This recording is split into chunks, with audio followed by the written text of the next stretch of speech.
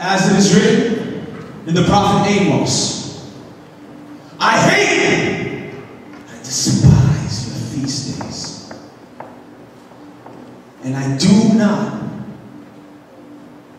I do not savor your sacred assemblies. And though you may offer me burnt offerings and grain offerings, I will not accept Nor will I regard your fatted peace offerings.